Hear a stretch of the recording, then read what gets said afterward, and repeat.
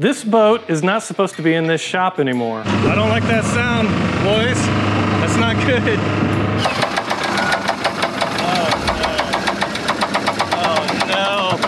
Today we're gonna take the engine apart on our budget boat and find out why it broke on us last weekend. On the last video you saw, we took the boat out to the lake for sea trials for the first time, and it only ran for an hour and a half before something catastrophic went wrong in the engine. And after we put $5,800 into this, that comes out to $3,866 per hour of usage we've got out of this boat, so that's pretty bad. And we read all the comments, so I know that we've gotta get this budget boat out of here so we can get back to work on the houseboat before you guys revolt.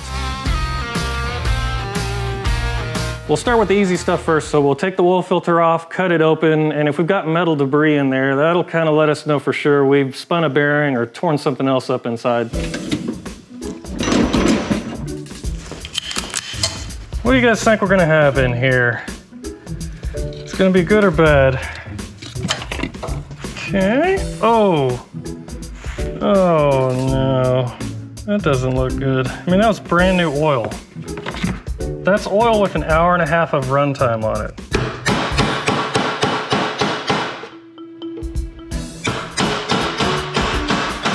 There we go. Da, da, da. All right, let's see what we got.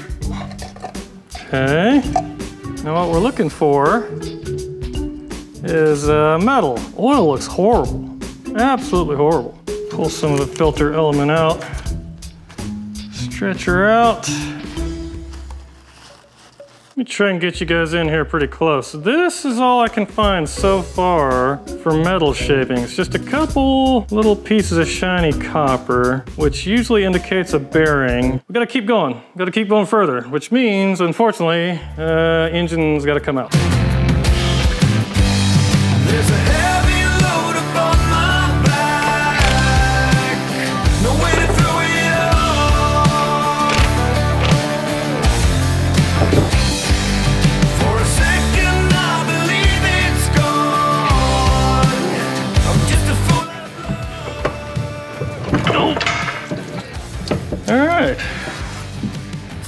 Think it's free? Maybe.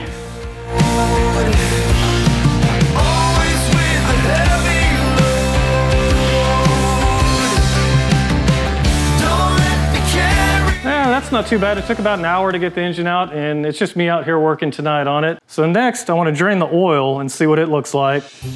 Let's see. Oh.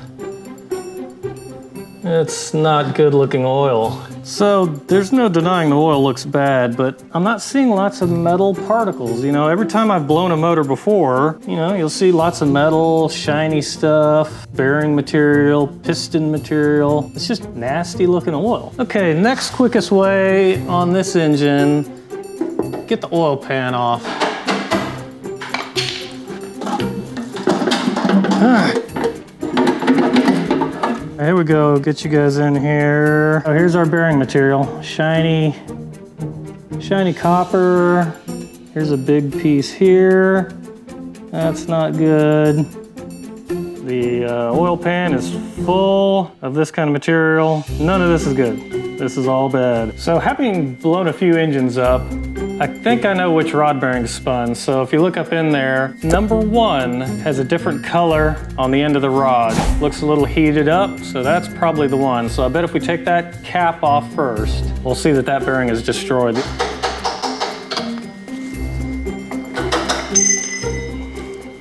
Oh yeah. Yeah.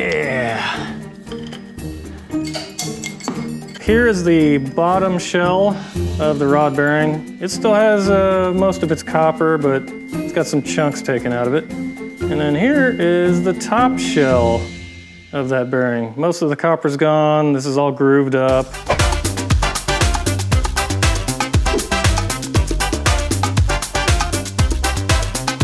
I've come up with three options to get this boat back on the water. I'm gonna tell you the three, and then you guys can guess which one we're gonna pick. Okay, option one, we buy a brand new engine. So they still make this engine brand new from the factory, three-year warranty. It's $7,500 though. Option two, we get on Craigslist, eBay, Facebook Marketplace, and we find another used engine, but then we might be getting someone else's problem engine, and it could last, you know, an hour and a half like this one just did. Okay, option three, we take the engine apart, we get the crankshaft out, and we take it to a machine shop, have them fix the crank. So out of those three, we're picking none of them. I had a new idea, cost us maybe a hundred bucks. Let me show you. Okay, so out here next to the houseboat, I've got tub storage here.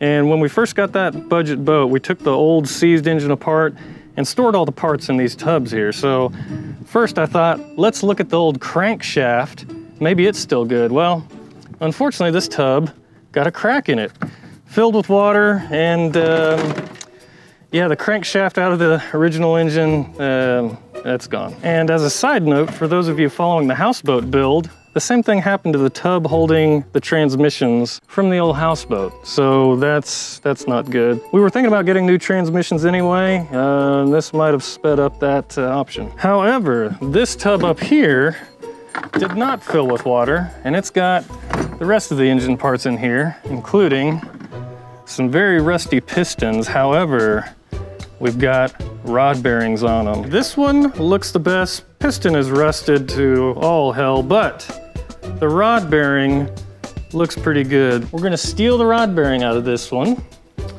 I've already got some emery cloth, different grits. We're gonna sand down that journal on the crank, throw an old rod bearing in, and we're gonna be back up and running, maybe. And in theory, all it should cost us is an oil pan gasket because in my haste ripping the oil pan off yesterday, I tore the oil pan gasket. Before we do this though, disclaimer, bars and tone, beep, beep. This is not good engine advice. If this was your boat, you should probably take the time to take the crank out, let a machine shop fix it up. I think that's really your best budget option. But if you're a redneck and you're cheap, and you wanna sand your crank down, definitely do it. So now for the rest of this video, you get to see if we can make this engine run again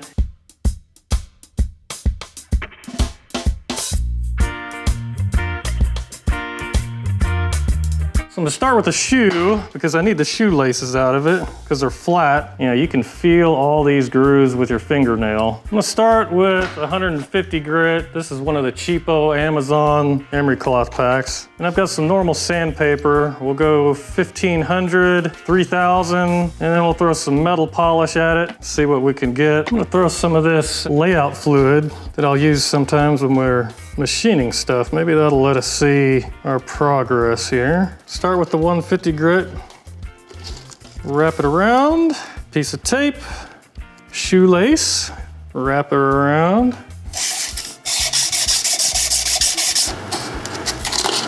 Yeah, so just from doing that, you can see that blue dye still down in the grooves. So we're gonna need a couple more passes with the 150.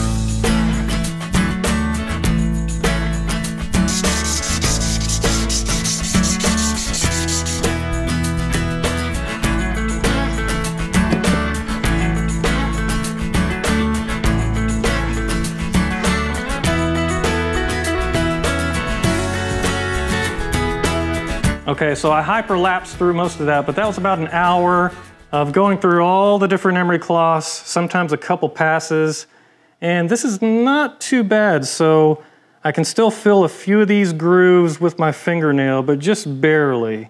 It doesn't look too bad after we're done, but now we've got to measure how much material we took off. So the before measurement that we had was 2.0916. See what we get.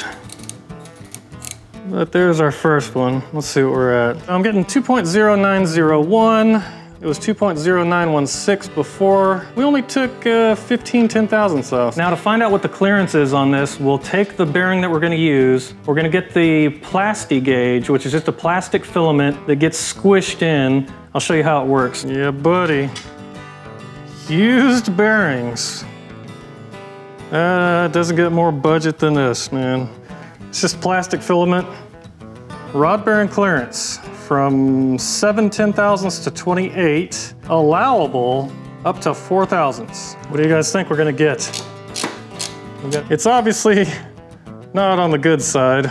We're more down towards the 3000s here. And as we go over to the left, it's a little less. So that's more towards 4,000ths, but this is as much as we can measure with this plastic gauge. You know, we're gonna throw it together and see what we get.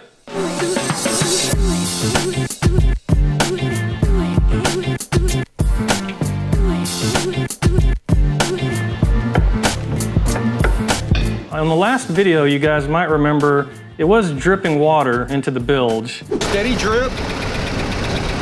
Steady drip. And you can see the engine block is cracked. And someone in the past apparently used JB Weld to go over the top of it. It looks like this thing obviously cracked the entire way across and someone attempted to weld it back up. Looks like someone welded it with a damn arc welder. There's just blobs of crap everywhere on this thing. I picked the worst Craigslist engine possible. I've had pretty good luck with Craigslist engines and cars and boats and stuff, but this, this is not good. Uh, where is it at? That's copper, silicon bronze. Here's one option. We could try that, try bronze this up, then maybe JB weld back over the top. What's the worst that could happen, right? Oh. Oh. The hell is that? DC shocked the out of me. Keeping the heat down. Threw a blob of this silicon bronze on here. It doesn't look that good. I'm not winning any welding awards with that. Oh, JB Weld. Never let you down. Hey,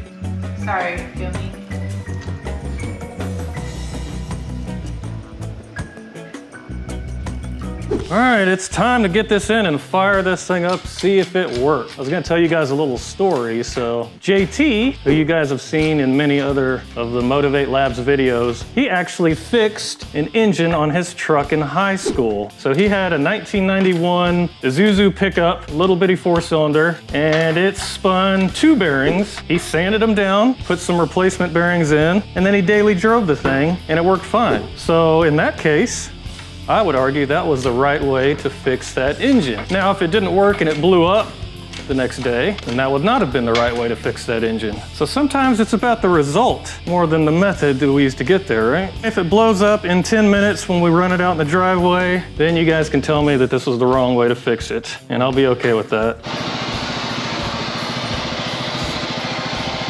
All right, guys, let's turn the water on, try to start this thing up. Okay, main battery on. Fire extinguisher if we need it. Let's give her a couple pumps here. Yep, fuel's coming out, that's good. Let's trim down.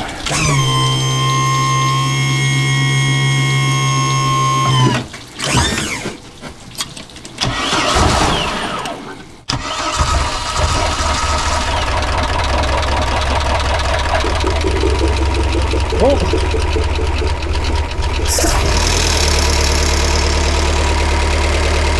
Pressure, I don't know, up to 30, 38?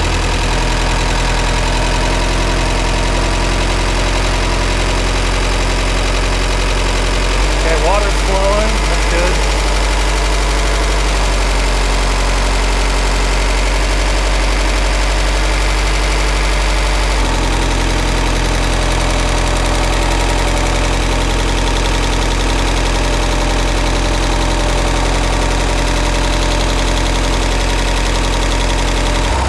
I don't know. Definitely still sounds like a, uh, a sewing machine. I'm making my timing light, check the timing on this thing. See where that's at. There's 950 RPM. Advanced still looks good. Ticking noise I don't like.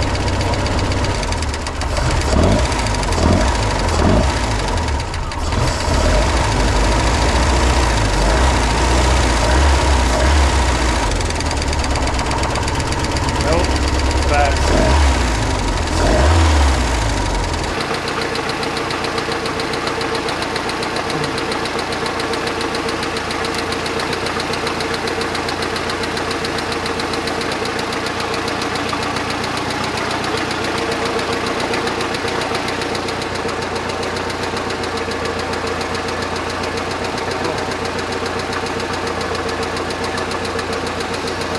Yeah, that's no, no good. No good.